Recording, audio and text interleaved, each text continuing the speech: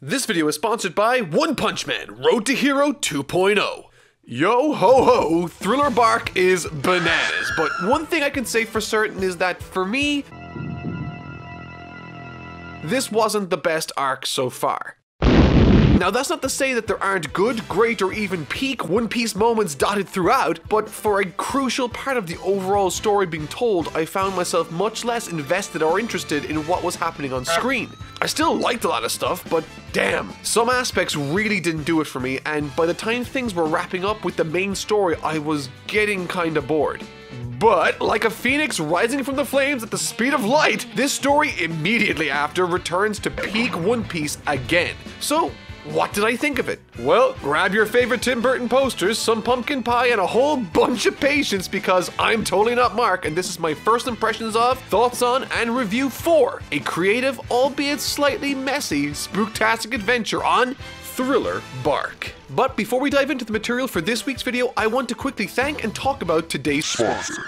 One Punch Man Road to Hero 2.0 is an officially licensed strategy card mobile game of the RPG variety, featuring the voice acting and storyline from the hit anime One Punch Man. You know, you might have heard of it. Who's in it? Saitama, Genos, Boros, and even that weird Crablante guy's in it. You can even see those drawn-on nipples with markers. Now that's attention to detail. This game's got over 50 heroes to collect, it's got tournament PvP, it's got puzzle modes, mission modes, boss fights, and need I stress, it's got Crablante's fake marker nipples. I've personally had a blast playing it between chapters over the last week, and if you'd like to get your hands on it too, with some perks, while also helping out the channel, download One Punch Man via the links in my description and enter the code Zero to Hero to get a special bonus 10 free recruit tokens for one multi summon. So, what are you waiting for? Collect those heroes, unleash your epic ultimates, and show me what it means to be a hero for fun. And for God's sake, send me screenshots of you finding Crablante's marker nipples on Twitter. Alright, back to the video.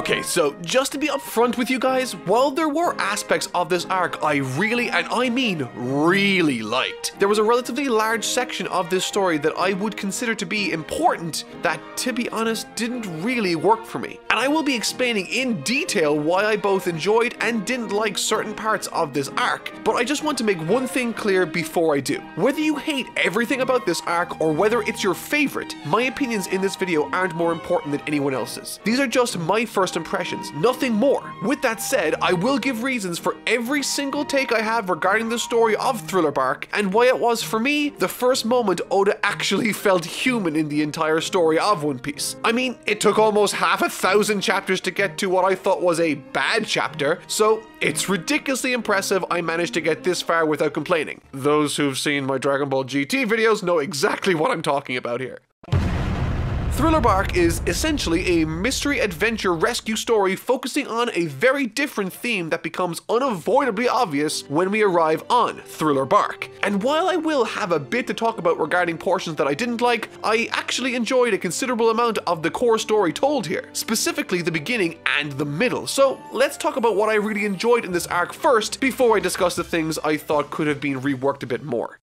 お前うんこ出んのかうんこは出ますよ Kicking things off, I thoroughly enjoyed the fact that Oda gave us time to enjoy the crew in their new ship, during which they come across a literal mystery box in the ocean that, once open, sends up a giant flare. At this point, I knew what was coming, but I really liked it nevertheless. Almost immediately after, a ghost ship carrying within it a living skeleton called Brook floats on by, and almost immediately after meeting Luffy, he asks him to join his crew, to which Brook says yes, of course. While I thought this was in character for Luffy to do, it distinctly didn't feel like an earned addition to the crew, and I think that's by design. And thankfully, this greatly changes throughout. But what I found really interesting about this sudden recruitment was that despite having been offered and having accepted the position, at the beginning of the next five volumes to come, which covers the entirety of Thriller Bark, Brook isn't at all featured as a Straw Hat towards the front of the books, which honestly acts as a nice bit of foreshadowing regarding what happens later regarding Brook's flashback and past. So I really, really liked that. But to be honest, from the get-go with the character of Brook, I wasn't overly fond of him. I don't particularly like perverted characters, and from the outset, he seemed to be much more raunchy than Sanji was. That is until later in the story, but don't worry, I'll get to that. Ignoring that for now, Brook thankfully becomes a much deeper, more interesting character full of unique problems that tie very much into the history of the established story within One Piece. The presence and introduction of Brook, however, in this instance is less about the crew thinking they've recruited him and more about what he means for the story. He goes on to explain why he is the way that he is due to a devil fruit he consumed, giving him a second chance at life, and also points out that a sinister someone has taken away his shadow, and thus cannot go into direct sunlight without dying. Also, every second line he speaks is a pun. Soon after coming across Brook, the ship gets dragged into Thriller Bark, a massive island floating in the middle of the ocean surrounded by fog. Immediately, an ominous tone is established successfully, leading to Brook immediately running away across the water, which is on its own an interesting thing to see, but what I love about this beginning can be seen immediately after. Apparently, the flare sent up earlier was a signal to this place known as Thriller Bark to take their ship. Apart from this beginning setting up a specific goal in retrieving the lost shadow of Brook, apart from it paying off the barrel in a successful manner, what I love is that while approaching this new island, Oda takes the time to explore the new improvements seen to the Thousand Sunny, demonstrating a bunch of new features courtesy of Franky. One in particular being a small tribute to the Merry that, and this is the awesome part, connects the crew with the threat of Thriller Bark itself, creating a whole bunch of motivation and tension for the story. Additionally, something I thought was really clever before exploring Thriller Bark was how Oda establishes right away who among the crew doesn't want to investigate the spooky spooky island and who does. Chopper, Nami, and Usopp are those such people that want nothing to do with it, but when out testing the new mini Merry craft, they don't come back leading those on the ship who did want to go investigate, i.e., the most competent people, left worried for their safety. Now we have two goals as a reader get the shadows back to restore Brook back to normal, despite him after running away, and to retrieve the now lost crew. The second goal is exceptionally important as it gives the characters a reason to explore the new island and to establish the surroundings for the reader while also attempting to fulfill the narrative goal. It's a fun idea that works, I think, extremely well. After this point, there's just a whole mess of mystery and conflict, and from this point, we start slipping into the second act of the story, which takes up a large chunk of the overall narrative, which I also largely really enjoyed the same way I did at the earlier parts of the story. Small character moments through Nico Robin demonstrating that she loves adventure and isn't scared of much, proving to be much more curious and less scared than anything else, is exactly what I was hoping for from her, helping her feel very distinct from Nami too. What's more, and something I referred to multiple videos ago during the Skypiea arc, was how Robin would refer to everyone not by their name, but by some other impersonal moniker, like Big Nose referring to Usopp or Navigator referring to Nami. However, now in contrast to that, Robin refers to everyone by their name after the events of Enies Lobby. It's incredibly subtle and so easily missed, but for those that do notice, it really helps these characters feel all the more human and likable, with this specific instance of that satisfying that she is allowing herself to get close to these friends.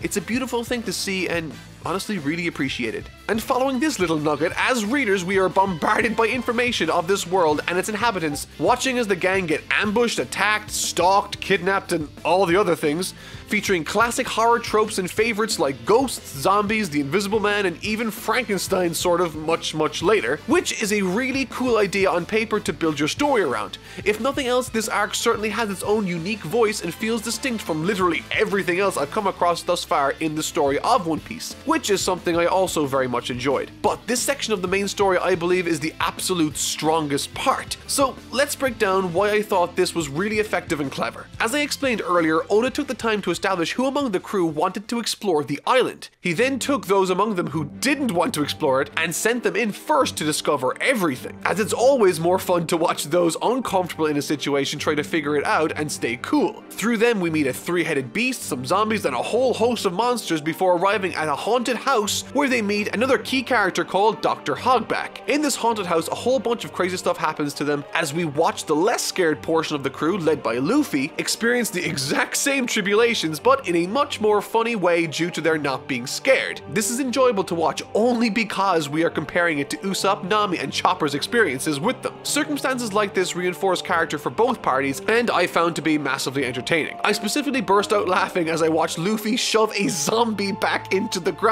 I don't think I've ever seen someone try to do that before, and when I saw it, I just burst into tears laughing. Once Luffy is done doing the Rubberman hokey pokey all over these tick filler The gang encounter a man that gives us our first taste of the most important character in this arc, one of the seven warlords of the sea, Gecko Moria. And in what becomes a really nice swerve in the story, the floating island of Thriller Bark happened to be the largest ship in the world, captained by none other than Mr. Moria himself. That moment in particular was a moment I sort of kicked myself for not predicting sooner. Sanji, Zoro, and Luffy, in a really unexpected turn of events, all get their shadows gobbled up and placed into other zombies. Those zombies now all have their powers, and for the time being, all those that had their shadows stolen are unconscious back at the ship. This leaves just Franky and Robin, the two newest additions to the crew, to demonstrate what they are made of and allows them to get more time in the spotlight, which I really, really enjoyed. Also, there's this super creepy spider monkey thing that is absolutely terrifying and totally the stuff of nightmares. And on top of that, Robin can fly, sort of, question mark? So that's pretty tight, not gonna lie about that. And also, this is sort of tangential to everything that I've been saying thus far, but I had to address it here. The amount of times that this particular arc mentions, quote, the new world was quite striking, which I suppose tells me that we're going to be going there at some point. So I'm going to leave that Chekhov's gun right there for the time being. Anyways, to cut a long story short, Luffy's shadow is thrown into this giant ice monster that is way bigger than a typical giant should be, and in a fun turn of events, when the shadows are absorbed initially, the residual personality of the shadow's owners takes over the zombie's vessel for a certain amount of time, which leads to a really interesting dynamic the crew have to later face. They have to fight a giant Luffy. The shadow absorption mechanic is cool and everything, but it comes with a restriction that required Moria not to take out Sanji, Luffy, and Zoro, and so they left him on the ship ready to reconvene with the rest of the crew once they made their escape. So at this time, Nami is still captured by a really awful, awful character that I hate, and Luffy's shadow is acting like a fool everywhere. A bunch of the crew are missing their shadows, and so a new deadline is introduced to create suspense, and it does it quite effectively, and that deadline is sunrise. Since they lost their shadows, the sun will now kill them if it hits them them being the strongest fighters in the Straw Hats, so sort of a big old deal. With this problem now facing them, Luffy shines like the true main character he is, opting to go straight to the root of the problem, Moria, citing that if he can beat him, the shadows will return to their normal owners. It's another wonderful example of Luffy adding to the story by being so straightforward and clear cut, wanting to take out the problem at its source by taking out one of the warlords of the sea. And while Luffy is left to pursue this course of action, the rest of the crew decide to take out individual zombies looking for their own shadows respectively, to act as a sort of contingency plan in case Luffy's doesn't work out. And with the added mission of still rescuing Nami, during this portion with the Straw Hats there are four secondary fights that take place against the underlings of Moria and I love three of them. I'll save the other one for a later point in the video. So let's start with Chopper versus Dr. Hogback. I haven't really spoken about him too much in this video, but Dr. Hogback up until this point has been the villain that has honestly had the most build-up and backstory explained to us. He's actively lied to every one of the Straw Hats he's met, put them all in danger, kidnapped people, and has resurrected their corpses using Moria's powers. The place exists because of him, and so needless to say, I was more than invested in seeing this psychopath get taken down along with his warped view of how morality and the world works. Additionally, Chopper, I thought, was an ideal candidate to face off against this guy, as not only are they both doctors, not only was Dr. Hogback established to be a huge inspiration to Chopper while he was studying medicine, but also because their philosophies as it pertains to helping people are polar opposites. As we learn, Dr. Hogback's motivations are entirely driven by greed, highlighted through the character of Cindry, who he specifically rose from the dead just to serve and be with him despite her utter refusal to do the exact exact same thing when she was alive, which is just all sorts of messed up and provides a more than interesting through line for Chopper to work with alongside Robin in a tag team effort against them. And perhaps the most interesting aspect of this fight was the internal struggles Cindry was fighting to foil her master Hogback's plan resulting ultimately in his defeat, which is a nice little narrative trick proving that Hogback lost and was defeated simply because of who he was, which is always incredibly satisfying for me as a reader. Zoro versus Ryuma. A couple of things about this fight my editor brought to my attention was that the character of Ryuma is based on a character Oda created for an entirely different one-shot manga called monsters, which on its own is a neat little factoid about this battle, but what I loved most about it was how it was structured. You see, the entire fight itself takes place in a sort of flashback, which not only is a unique way to mix things up in delivering the conclusion of a fight sequence, but it's also used to tremendous effect in this particular case. The fight begins, strangely enough, at the very end of it, with Zoro looking as though he had completely lost. As we continue through the manga, what follows this is, as I said earlier, the entire fight taking place in a flashback. The interesting part being that right now we think that we know the ending, which, as I explained in my Alabasta video, is something known as dramatic irony. Or at least, we think we do. Throughout the entire fight, we have a sinking feeling in the back of our minds that despite Zoro's best efforts here, he's destined to lose. However, as it happens, as a nice swerve, how we interpreted the ending of this fight scene when we were first shown it was incorrect. Zoro, despite having a lot of trouble with this undead samurai, manages to put him away, proving that he is deserving of one day becoming the greatest swordsman in the land. And so not only did this fight scene provide a nice little character moment here and there for Zoro, not only did it employ an interesting format, but it also elevated both of the warriors involved, which isn't a small feat at all. And with this victory under his belt, Zoro also returns to the body of Brook, his shadow, for the first time in many, many years. 俺は元からネガティブだ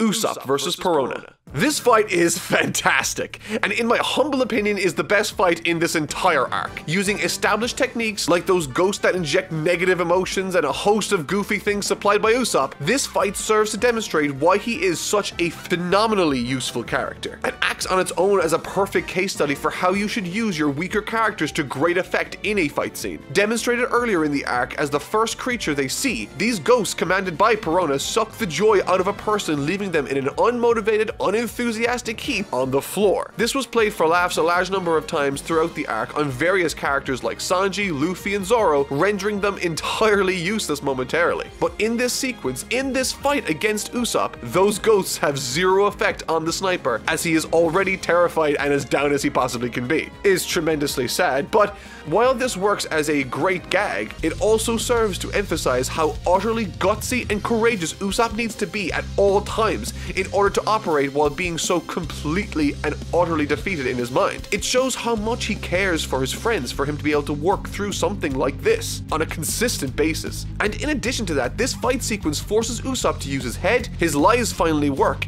and all of his cheap tricks hit their mark, leaving Perona in an emotional heap the same way she leaves her opponents. It was such a fun, unpredictable, and character-rich sequence that proved to be an easy highlight amidst this arc. And okay, so I'm about to dive into my opinions on some things I didn't like as much. I'll try to justify every conclusion I've come to as clearly as I can, so alright, let's dive in.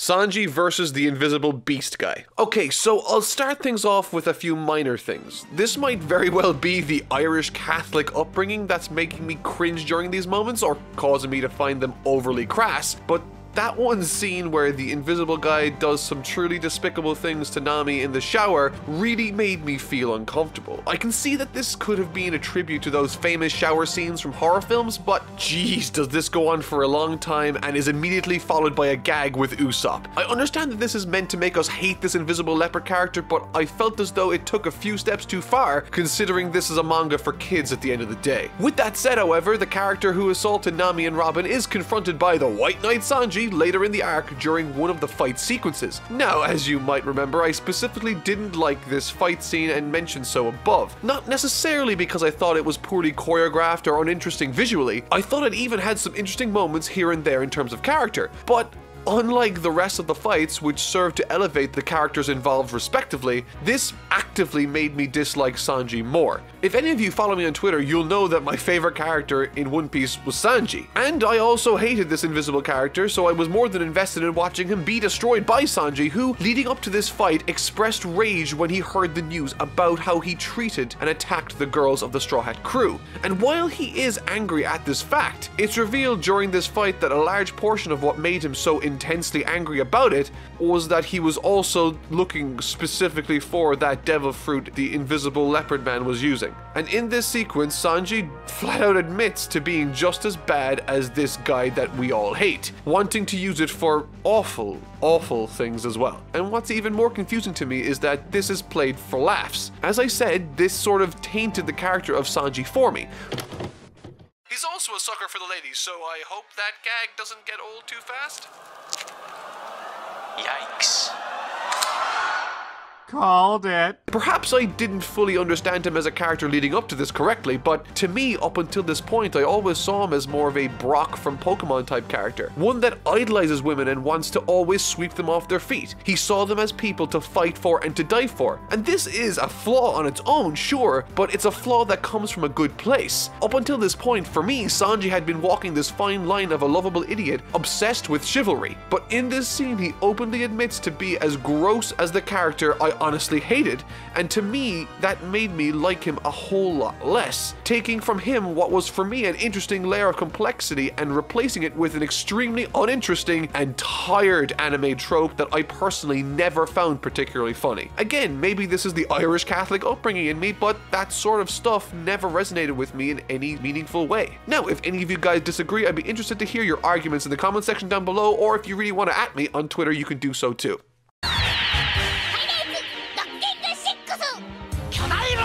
ロボ戦士ビッグエンペラー The third act. Personally, I found that unlike all of the other arcs in One Piece that all seem to have paced themselves really well for me in the past, this arc's final act really dragged its feet up until Moria was defeated for me. While I thought the concept of a giant monster Luffy was interesting, forcing the crew to deal with him while Luffy is off getting a super buff power up, I thought that once the personality of Luffy faded into the background, he became the single most boring opponent in the show for me. Without a personality to latch onto that drives the decisions he's making, I wasn't a big fan. He's just a zombie like every other one. And I think Oda recognized that too, as almost immediately after that personality vanished, Moria starts piloting him like the empty vessel he is. Which is good news, but unfortunately for this arc, I wasn't a big fan of this fight with Moria either. But that's not to say that I didn't like aspects of it, I simply don't know very much about Moria as a character.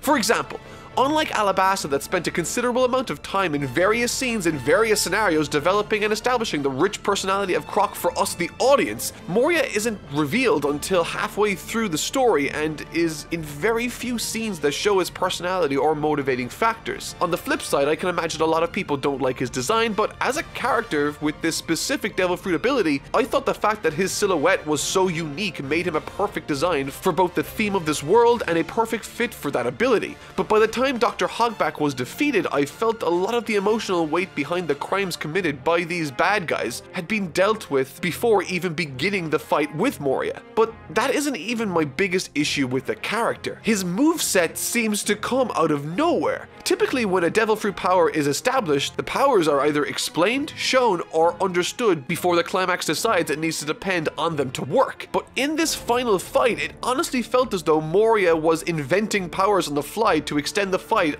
beyond a natural conclusion. So, let me explain. Crocodile could do fantastical things with his sand powers, but they were always either foreshadowed or had something inherently known about sand as a material used within it, like its ability to dehydrate something. We all know that sand does that. That's an attribute of sand that exists that people are aware of, and as a result, that doesn't necessarily need to be explained or foreshadowed to us, the audience, as it should be derivative of his particular ability. Whereas swapping places with your shadow, as well as a host of random powers Moria seem to have with this particular Devil Fruit ability seem to come out of absolutely nowhere just to create more trouble than it should have been at the time. These weren't subversions, these were just pulled out of nowhere, and it was all the more unsatisfying for it for me. Now, that's not to say there weren't aspects of this final fight that I enjoyed tremendously, in fact, there's quite a lot. I really enjoyed that Moria isn't the typical cool looking villain, but more importantly, I specifically adore that he takes the combined efforts of all the Straw Hats to defeat him at the end of the day, with several characters like Chopper utilizing what makes them special to identify weak spots and to form a strategy to defeat him. But even acknowledging that, we get awesome scenes like this one where Robin outplays him in a physical game of chess, and in a really brutal way too, which is totally elevating her in my favorite character list. But more importantly, this was an incredibly satisfying sequence because she overcame in a creative way what we already understood were the established parameters of this particular exchange.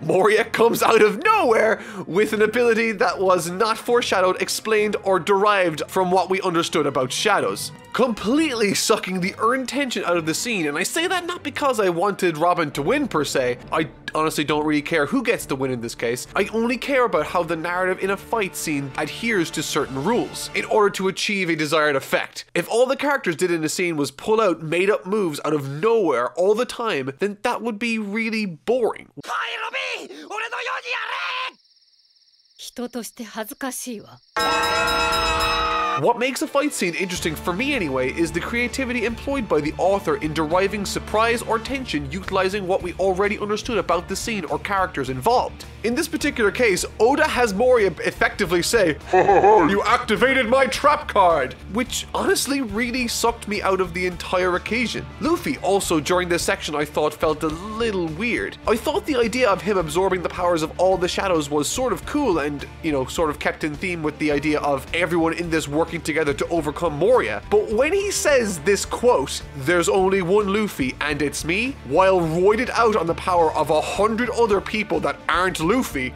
I had a bit of a chuckle, I have to admit. But anyway, even after this roided out attack on Moria, if you thought he was done at this point, you're sorely mistaken.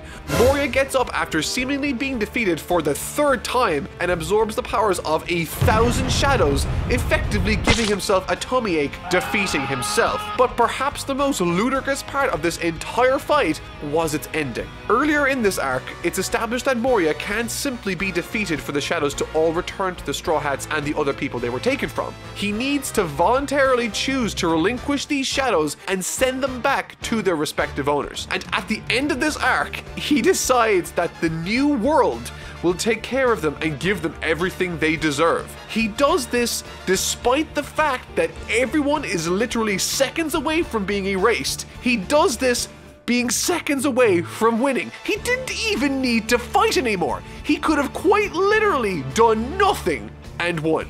But he didn't. Instead, he chose to give up at literally the last possible second. This is akin to being infinity points up in the NBA Finals with one second left on the clock, forfeit the match. That wasn't what I wanted from this occasion.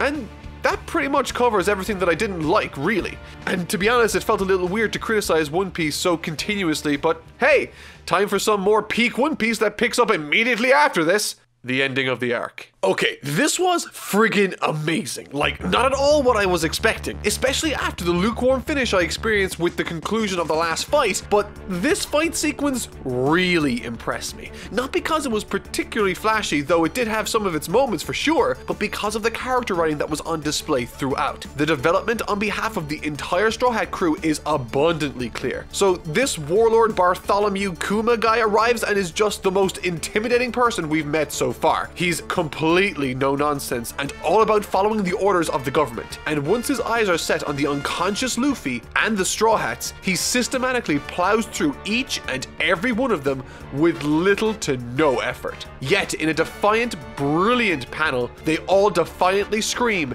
that they will never give up on defending their captain. It's a beautiful moment, however, moments later, with absolute ease, he renders each and every one of the Straw Hats unconscious. Well, almost everyone.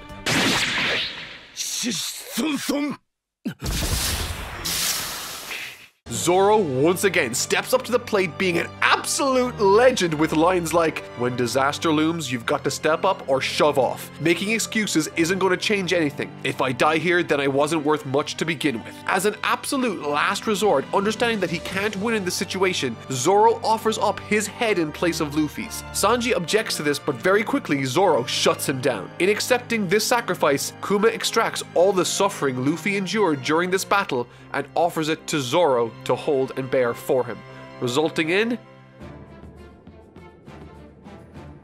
ここで何があった何もなかった This arc finishes incredibly strong, with not just moments like I spoke about regarding Zoro, but also with delivering backstories for new additions like Brook, and in a shocking turn of events that I absolutely did not see coming. I'm serious. Had you given me a hundred years, I wouldn't have remembered that small plotline from Reverse Mountain. But as it turns out, 約束の岬で再会を誓った仲間の名は La boom.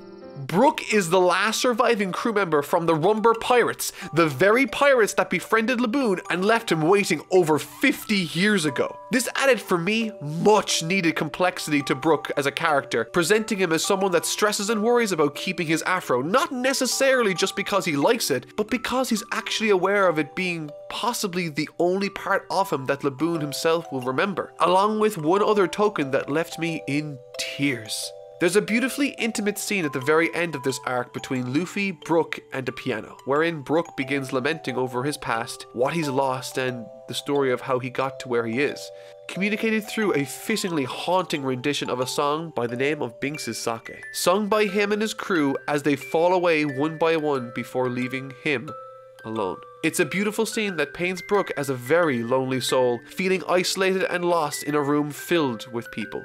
But this time it's different. He's not alone, and in a very real way this time, he's accepted into the crew by Luffy. And so, I guess Luffy's finally found the musician he's been looking to recruit since the beginning of the story. But even that's not the most entertaining part, if you'll believe it. Earlier in the story, Kuma announces that Blackbeard, whom we last saw clashing with Ace, is being chosen as Crocodile's replacement as one of the seven warlords of the sea. We also learn that whatever happened between Blackbeard and Ace, it resulted in Blackbeard getting away and Ace being taken prisoner by the government. Well, if that wasn't enough, at the very end of this arc, we learn that the piece of paper Ace gave Luffy in Alabasta all those chapters ago is a piece of vivre or life paper. Essentially, for all intents and purposes, this connects Luffy to Ace, allowing him to find him more easily. And according to that piece of paper, in Luffy's possession, Ace is barely hanging on. Which is incredibly exciting, sad, but exciting and interesting to hear. So I guess that's where we're going next? Despite this arc being much less consistent in terms of entertainment for me when compared with the rest, I still very much enjoyed my time towards the beginning and most definitely after its main events ended. The conclusions to this arc are nothing short of harrowing, heroic, and haunting, with Zoro for the first time in a very long while being the standout character. To be honest, the focus has been primarily on so many other characters in the past few arcs that all Zoro's done over the last couple of arcs has speak every now and again before fighting the second strongest guy, and he does amazingly well in that role. But this arc's conclusion for me cemented him as one of the absolute best fits as Luffy's number two. As for Brook, someone I honestly didn't enjoy much of early on due to the crass nature he was introduced with, very quickly became more of a character I could sink my teeth into, with once again the conclusion to this arc managing to flesh out this old bag of bones all the more. There's a pun for you right there that hasn't been used. I'm now halfway through my adventure through the high seas of One Piece as I endeavor to catch up with the rest of the world. And with the Nightmare Before Christmas style story that was Thriller Bark now in the books, despite its downsides, I'm still very happy I checked it out and finished it. There were some truly interesting, touching, and well written scenes throughout, it just so happened to be dragged down by a very ill conceived villain, in my opinion, with some pacing issues. Join me next week as I continue down the road on this adventure. And don't forget, if you want to support the channel, check out One Punch Man Road to Hero 2.0 using the link in the description. But that'll do it for this video. I've been Totally Not Mark. I'll see you all next week, and thank you so much for watching.